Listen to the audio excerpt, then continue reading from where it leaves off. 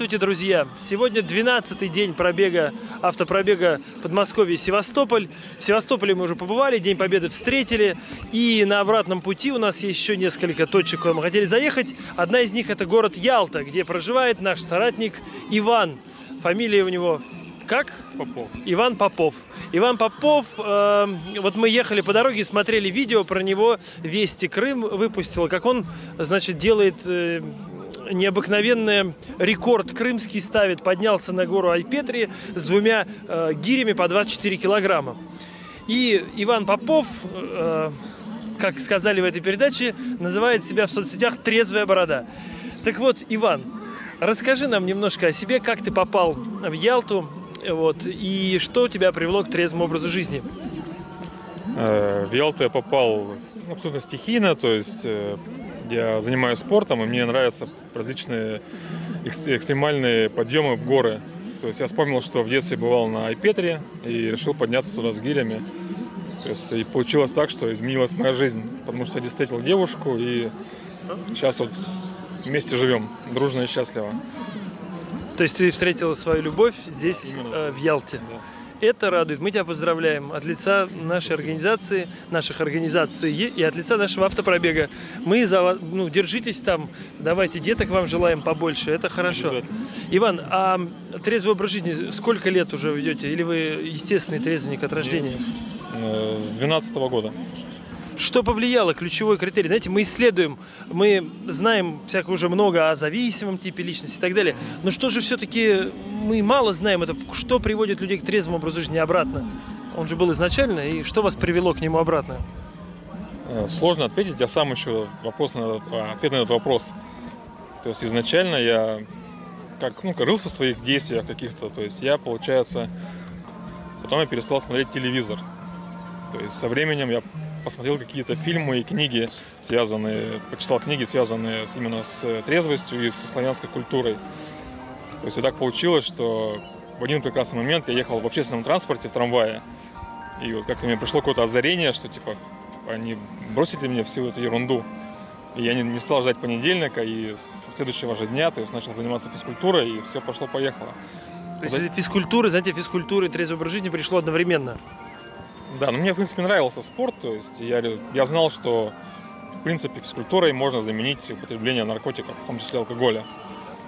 Соответственно, в, в дни, когда у меня были какие-то сложности с, э, с прерыванием, с прерыванием этого занятия, скажем, употребления алкоголя, других наркотиков, я занимался физкультурой, то есть я прямым образом то есть, выгонял из себя всю эту мерзость. Понятно. Иван, сколько тебе лет? 38. 38 лет. Какой это год рождения? 81 Вот если посмотреть на Ивана, что можно сказать? Мы бы ему больше 25, честно говоря, с трудом бы дали. Выдает, конечно, пара седых волос в бороде. Вот. Но вообще, конечно, человек выглядит молодо, хорошо. Что делает? Спорт, здоровый образ жизни, правильное питание, физкультура и трезвый образ жизни. Все это вот показывает, что молодость сохранить можно очень-очень долго. Уже 38 лет, почти 40. Ну а где 40? Уже почти 50. А как человек хорошо выглядит? Иван, а ведешь ли какую-то ты общественную деятельность в Ялте? Может быть, ты какую-то, так сказать, завлекаешь молодежь э, вести трезвый образ жизни? Может какой-то профилактикой занимаешься? Э, Нет, кроме прогулок с гирями и в майке трезвой культуры и общения с людьми на эту тему, то есть кто ко мне подходит и спрашивает, о, а что это вы там гири носите, там, а что у вас за майка, то есть ну, ст- стихийное такое общение, специально ничего не делаю, но планирую, когда вот начнется сезон настоящий, то есть уже когда поедут люди, то есть проводить аналогичные опросы на тему выноса алкоголя э, за поселение. То есть уже себе сделал макеты табличек всевозможных, листовок. То есть также буду выходить, как вот я знаю, питерские ребята выходят на, на улице Питера.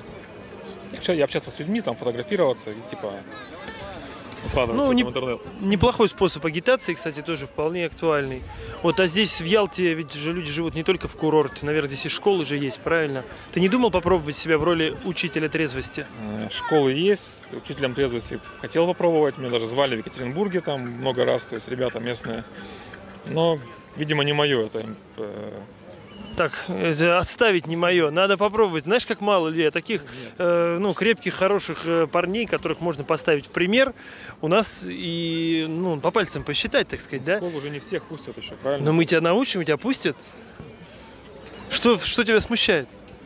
Да, в принципе, ничего, но я думаю, э, не каждый все равно может заниматься всем. Это не все, мы тебя научим проводить всего один урок. 45 минут с поддержкой, там, видео какое-то покажешь заодно. Там всего живого общения минут 20 нужно будет. Ну, как бы мы тебя подготовим, и будешь, э, найдешь себе аудиторию среди молодежи. Они будут вместе с тобой гири таскать. Я думаю, что это будет в любом случае полезный опыт. То есть попробовать можно. Что получится, не знаю. Отлично, все, Иван записывается к нам на семинар, значит, э, семинары у нас пройдут, как известно, летом. Э, Мы будем в Подмосковье готовить члей трезвости, будем э, разрабатывать параллельно еще дистанционную программу подготовки. Мы понимаем, что нельзя объять необъятное, но научиться проводить всего один урок, первый, для начала, это очень важно. Этот один урок, понимаешь, сколько детей, сколько им нужно всем первый провести? Не надо знать сразу там на 10 уроков вперед, хотя бы один.